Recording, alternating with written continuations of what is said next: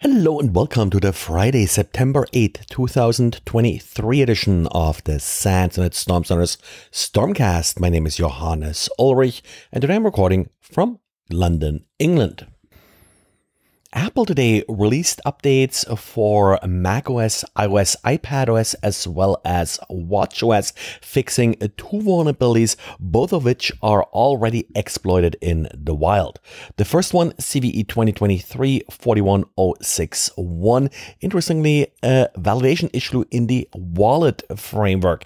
It uh, could be exploited via a crafted attachment and lead to arbitrary code execution. The second vulnerability is affecting the image IO framework. It's a buffer overflow, also leading uh, to a code execution. The image IO vulnerability, according to the Apple announcement, was discovered by the Citizen Lab at the University of Toronto. The Citizen Lab has in the past uh, discovered similar vulnerabilities that were usually then linked uh, to commercial spyware being used by governments uh, to spy on activists. At this point, I don't see any details about this vulnerability on the Citizen Lab website. And sticking with Apple here for another story, I ran into some, well, not sure if I should call it scareware or fleeceware earlier uh, today. The way it was advertised was by tagging users on Facebook. And then, of course, these users' friends will also see the respective uh, messages. It was a fairly uh, deceptive uh, message, really sort of just clickbait, saying that, well, uh, someone has passed away. The link then led to your standard scareware page, basically claiming that you are infected with malware. The software itself was essentially a VPN product uh, for iOS. And interestingly, it was in the App Store, so it did pass Apple's uh, review. I did install it briefly. It does appear uh, to contain some VPN functionality. Didn't really have time to dive into it deeper. If it's just a VPN with some adware protection, well, uh, for that it is actually uh, rather expensive, starting at about uh, $8 a week.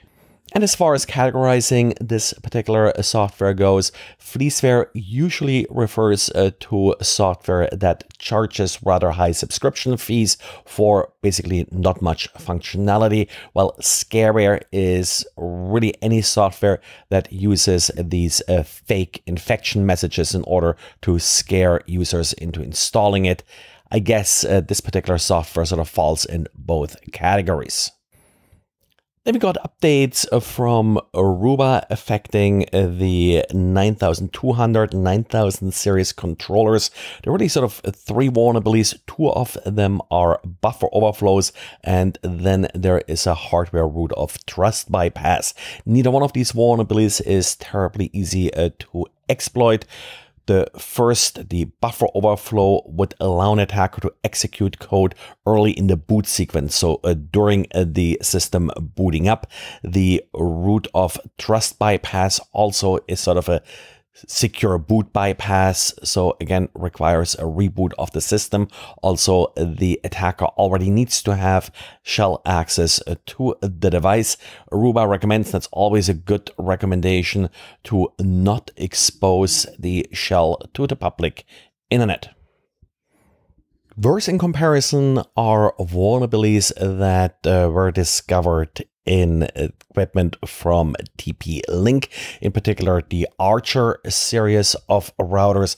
There's a whole set of vulnerabilities, I think 13 if I counted correctly altogether, and they include, uh, for example, OS command injections, hard-coded credentials, improper authentication, stack-based buffer overflow. So your typical set of IoT and sort of router style vulnerabilities firmware updates are available. Remember again, once a month at least, uh, double check if you have the current firmware for whatever router you're using. Also double check if your particular router is still supported. In this case, there are a couple of listed devices for which no more updates are available. Well, and that's it for today. Thanks for listening and talk to you again on Monday.